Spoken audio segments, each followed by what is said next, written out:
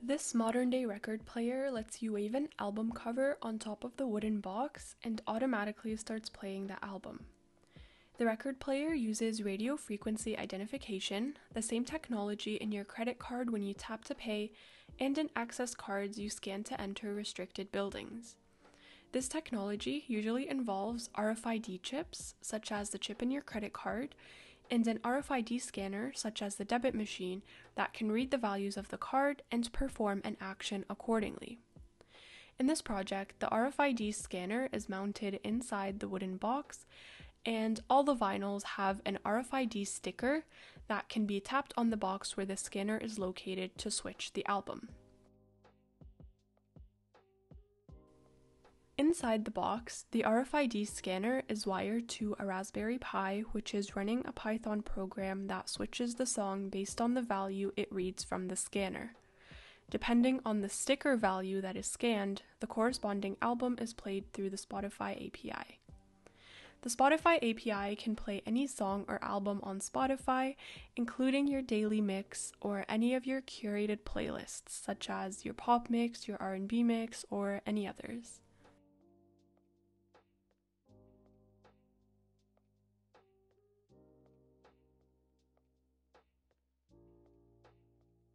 To start, we'll need to take our RFID scanner module and solder header pins onto it.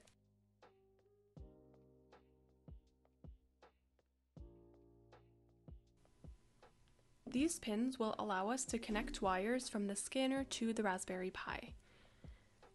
So once you've soldered the pins, this is what it should look like, and next we'll be taking our Raspberry Pi and connecting the two together. To connect them together, we'll be using these DuPont cables that have these rectangular blocks on both sides to allow us to connect the pins together. I'll link this diagram in the description below and I highly recommend printing it out. This shows the mapping for the GPIO pins on the Raspberry Pi and tells us what their descriptions are so that we know which pins to connect together. First thing we're going to do is we're going to connect the SDA pin on the RFID module to the GPIO pin 8 on the Raspberry Pi. Next, we're going to connect the SCK pin on the RFID module to GPIO pin 11 on the Raspberry Pi. Next, we're going to connect the MOSI pin on the RFID module, and we're going to connect that to GPIO pin 10 on the Raspberry Pi. Next, we're going to take another cable and connect the MISO pin on the RFID module and connect that to GPIO pin 9 on the Raspberry Pi. We're going to skip the next pin on the RFID module, the IRQ pin, and we're going to go to ground. And we're going to connect the ground pin on the RFID module and connect that to ground on the Raspberry Pi. Then we're going to take another cable and connect the RST pin on the RFID module and connect that to GPIO pin 23 on the Raspberry Pi. Next, we're going to take the 3.3 V pin on the RFID module and connect that to power on the Raspberry Pi. So now that everything was connected together, I put it into the box using some 3D printed parts to help mount everything. And then we're just going to connect it the Raspberry Pi to power. So I just got a Raspberry Pi power supply and connected that to the Pi.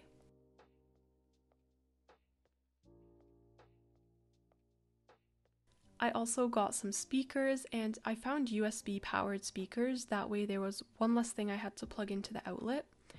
And then I plugged in the speakers into the headphone jack of the Raspberry Pi. And we were pretty much done all of the hardware and all of the wiring. And before we get into programming, I'll just tell you a little bit about how I created the vinyls. So basically, I just um, used some cardstock and printed the album covers for the different albums that I wanted. And then I took these RFID stickers that I bought from Amazon and I just taped one sticker to 3D printed records that I created to fit the little cardstock album covers that I made. And that was pretty much how I made these vinyls. So here's another one that you can see is um, just has like the songs on the back and the RFID sticker taped onto the record. And that was pretty much it. Now let's get into the programming.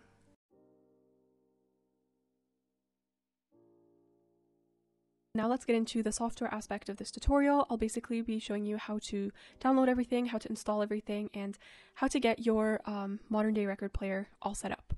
I've just reinstalled Raspberry Pi OS. I have the newest version right now, which is Bullseye, um, but this does also work on Buster. I've tested it out on both. Um, and yeah, so I've basically reinstalled it. That way we're both starting in the same spot.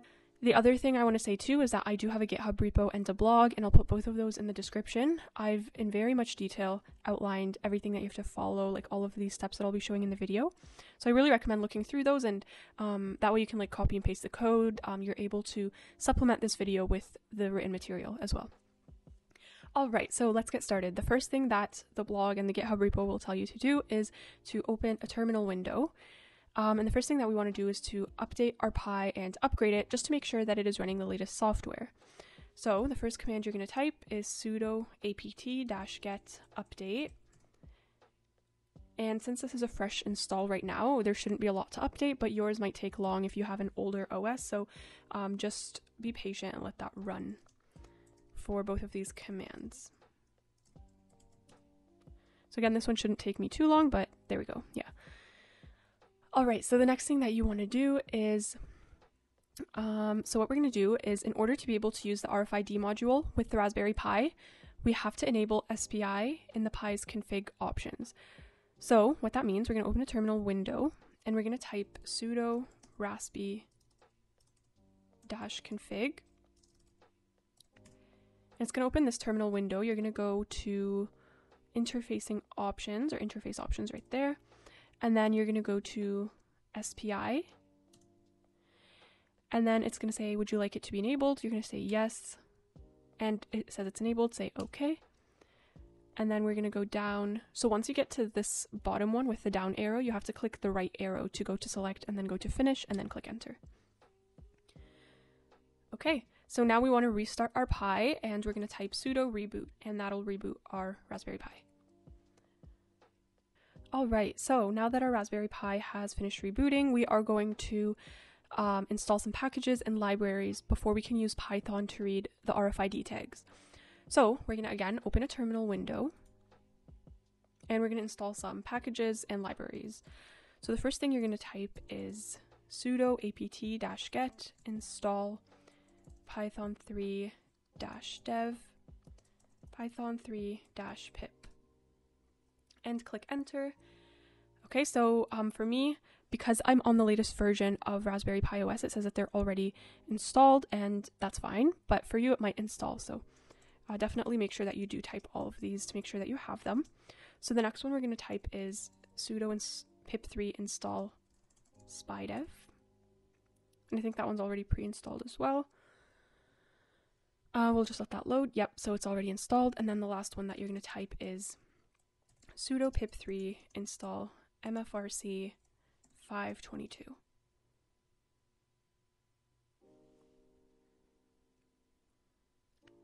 All right. So now we can start interacting with the RFID scanner. Um, we're going to write some Python code that will allow us to read RFID tags. So the next thing that we're going to do is install Firefox. We're going to need a web browser later on, and I found that Firefox works best on this new Raspberry Pi OS. So I'm going to type sudo apt install Firefox ESR. But you don't have to do this. You can use um, Chrome or whatever other uh, browser you want. All right, so now that that has installed, I'm going to exit out of there and I'm going to click here to open my folders. I'm going to click on documents and then I'm going to right click and click on new folder. And I'm going to call it RFID Spotify and click OK. And in that folder, we're going to right click, new file, and we're going to call it read.py. And then we're going to right click on read.py and we're going to click on open with, go to programming, and then, oop, Programming, Thonny Python IDE. So Thonny is a Python IDE that comes pre-installed on your Raspberry Pi and lets you write and run Python code.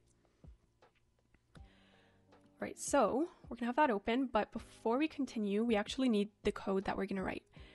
And if you go to Firefox or whatever internet browser you want to use, uh, we're gonna go to the GitHub repo where I actually have the code so that we can copy it.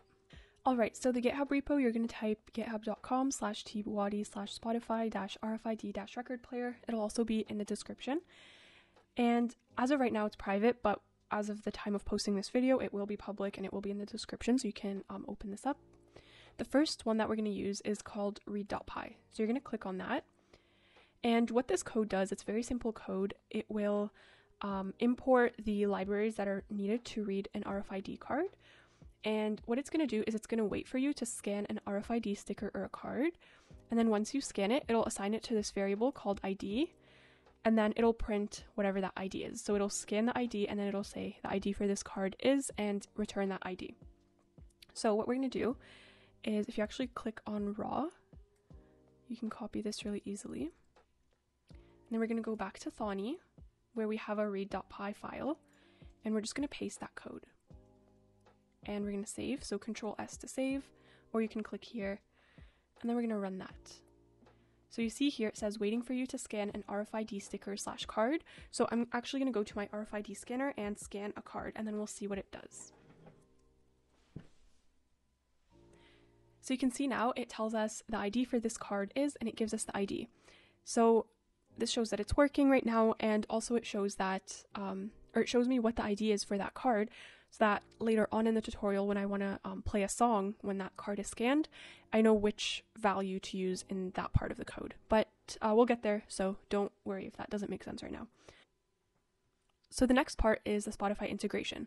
We're going to make the Raspberry Pi a Spotify Connect device, which means that we're going to make it its own device that we can play songs through, um, its own device that we can like send API requests to later on in the tutorial. Um, so yeah, that's going to be our first step.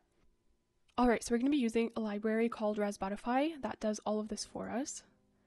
So what we're going to do, we're just going to search up Raspotify and click enter. And we're going to go to that GitHub repo and there should be one line. So we're going to copy that line and then we are going to paste it in our terminal and click enter. And that's going to install Raspotify for us.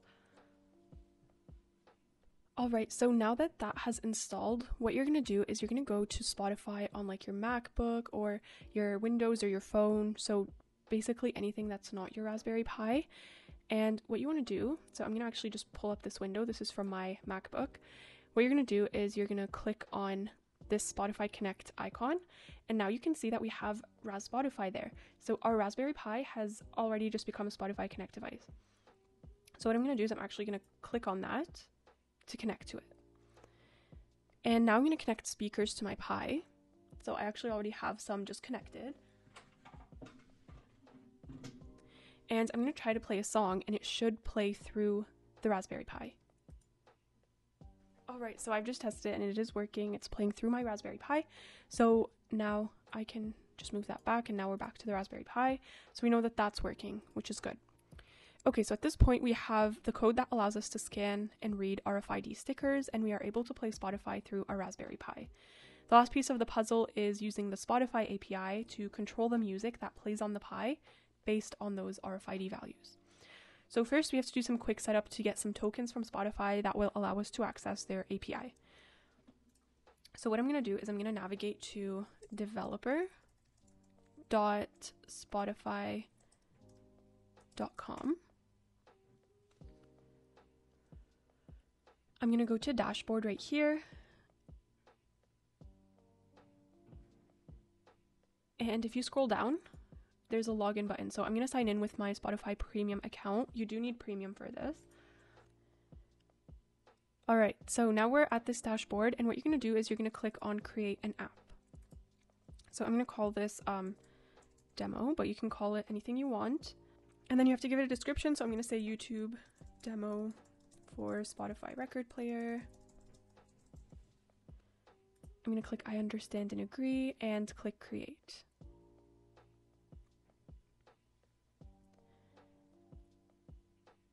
All right, so now it gives us an app. Um, we're going to click on edit settings. So you're going to go here where it says redirect URIs and you're going to put localhost 888 slash callback and then the other one you're going to add is HTTP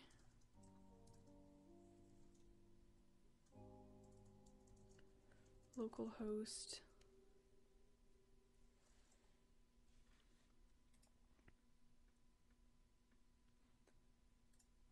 8080 and we're going to add that and click save. Okay, so the data has been saved. And now from the dashboard, we want to note down a couple things. So we want to note down the client ID, the client secret, um, because we're going to be using those in a later step. Or you can just keep your dashboard open and then just copy and paste it when you need it. Okay, so now we have to find the device ID of our Raspberry Pi. So since we made it a Spotify Connect device, we have to find its Spotify device ID. And that's like the device that we'll know to send songs to and to make API requests to. So what we're going to do is we're going to click add here and we're going to go to https slash slash um, developer.spotify.com slash console slash get dash users dash available dash devices and click enter. Okay, and then we're going to click get token when that page loads up. We're going to check the required scopes for the endpoint. So anything under this required scopes, we're going to check it and click request token.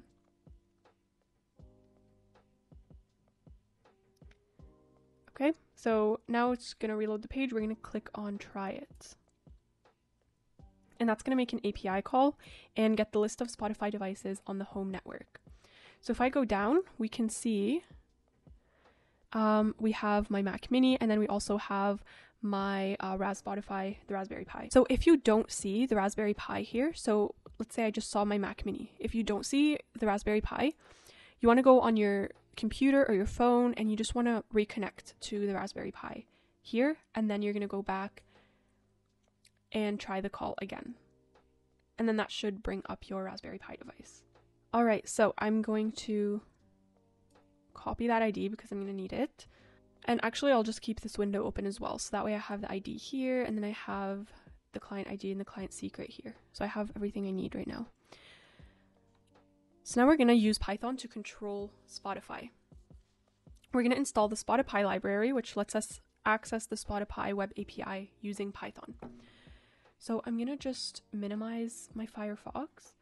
I'm going to clear this terminal and I'm going to type sudo pip install Spotipy.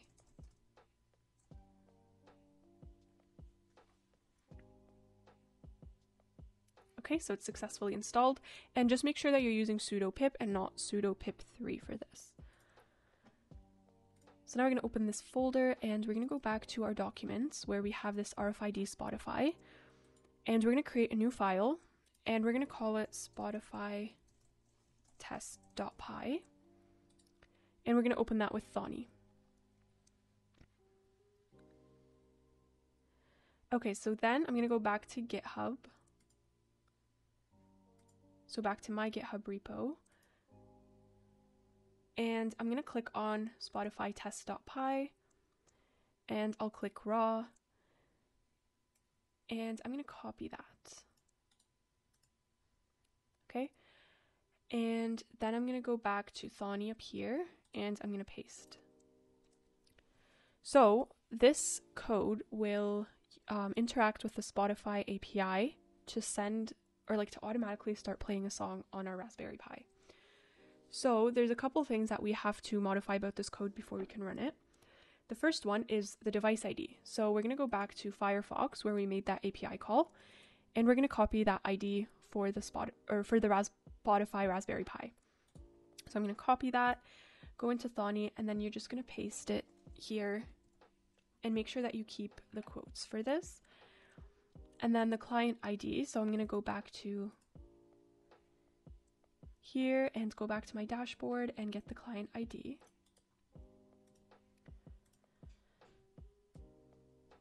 And paste that. And then we need the client secret. So I'm going to go back here and get the client secret and then go back and paste that. So now we've pasted everything. We have our device ID, client ID, client secret, and you can see these variables are used throughout the code. So the client ID is used here to authenticate who we are. Um, and then the device ID is used in this function where we transfer the playback. So if, let's say your phone is the current active device, we're going to transfer the playback to the Raspberry Pi. Um, so that's why we needed the device ID there. Um, and then we have this function here that starts playback. So this one will actually start um, playing our track. And right now I have this uh, track, or I have this um, Spotify song, but you can actually swap this for a different song and I'll show you how to do that. But just to start, and I'm gonna run. And that should open up this page and it tells you um, you agree that the app that we created will be able to view your Spotify account data, view your activity, take actions, so control Spotify. Basically, you're giving it permission to let you use the API to control your Spotify. So now we have authentication status successful. It actually scared me because it started playing the song. Um, yeah, because right now it did the authentication, it was successful, so it started playing. So I'm gonna just turn that up so you can hear.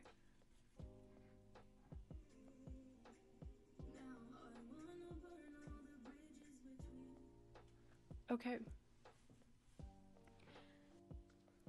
So you can see here that we're playing the song at this URI, but um, you can actually choose which song you want to play. So you're going to open up Spotify on like your computer or your phone. And then uh, if you click on a song and click on these three dots and click share, you can copy the song link for that song. Um, and then and then I'm going to paste that and the URI is whatever is between here. So it's basically what's after the track slash and before this question mark. So if you actually go to the GitHub, then there's uh, more details on how you can play an album instead of a song and um, just some more information. So at this point, we have Python code that reads an RFID value, and we have Python code that uses the Spotify API to play music. We just have to combine these together to create the code for our music player that will play Spotify based on the RFID values. So what we're going to do is we're going to go back to our RFID Spotify folder. We're going to create a new file, and this will actually be the file that is our final Python file that we'll use for this record player. And we're going to call it player.py. And I'm going to right click, open that with Thonny, So there it is. Um, so what we're going to do is we're going to go back to GitHub and we're going to get, to go back to the Spotify RFID record player and we're going to get the file called player.py. We're going to click on raw and just copy that whole thing. And we're going to go back to Thonny and we're going to paste that. So again, there's a couple things that we have to modify. First is device ID, client ID, and client secret. Um, we can just get those from this file because they'll be the same. So let's just copy that there. There we go. Um, and then let's see, what else do we have to change? So if we scroll down, we'll see here that basically we have um, an if statement that says if the ID of the RFID card is X, then we're going to play this song. Otherwise, if it's this, then we're going to play this song. So basically, this code is already pretty much written for you. Um, and what it'll do is it'll wait for you to scan a card. And based on the value of that card, it will um, play that specific song. So now what we're going to do um, is we are going to go back to our read.py. And we're going to take one of our RFID stickers so I'm going to run this program. It's going to say waiting for you to scan an RFID sticker or a card. I'm going to scan one. So it says the ID for the card is this. So I'm going to take that ID. I'm going to copy it, go back to player, and I'm going to say if the ID is the one that we just scanned, then I want to play this track. But you can change this to be whatever track that you want. then what we're going to do is we're going to go back here, we're going to scan another ID.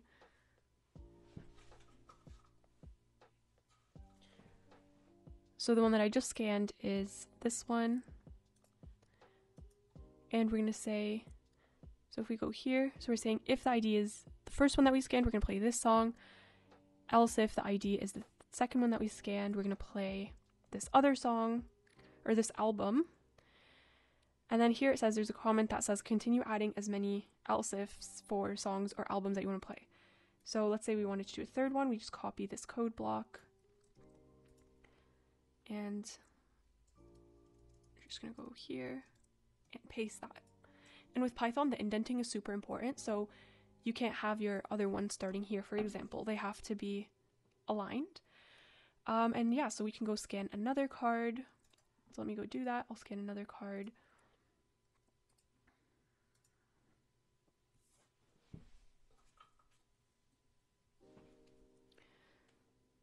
Believe, no, I think I just scanned the same one. Let me scan another one. Okay, so we've just scanned another one and I'm gonna copy that, go to the player, and then just change that ID. And then I can change this album if I want, put in a different URI. Um, I'll just keep it for now, and there we go. So we're gonna save that, and we're gonna try running it and see what happens. So I'm gonna run that. And maybe actually let me add a little piece of code that I'll update in GitHub, but um, let's see. So it'll say, so I'm gonna stop the code. Waiting for card scan or waiting for uh, record scan. Okay, that's better. So let's run that so that we're actually Okay. Don't worry about this warning. It's fine. Um, so it's just a warning. It's okay. So it says waiting for record scan. We're going to scan one of our records. So I've actually had to change some of these tracks and just make sure that they're all copyright free songs so that way I can demonstrate them playing and post it on YouTube. So um, I'm basically, so I've just played it. It says waiting for record scan and I'm going to scan my first card and you should hear the song start to play.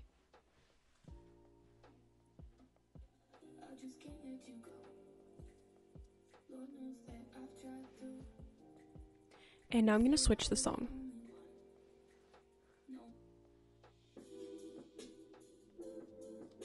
Okay, so I just turned the volume down. So that's basically the gist of it. Um, so you can see now we have um, the songs playing based on the different IDs. So you can just keep adding else if statements with the different songs or the albums that you want to play.